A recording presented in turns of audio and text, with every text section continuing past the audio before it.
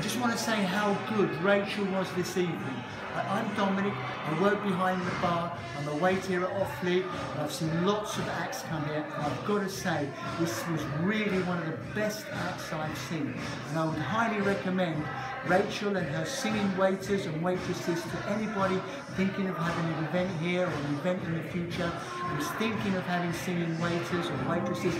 please book Rachel because you will be so impressed and your guests and your family and friends will be well, well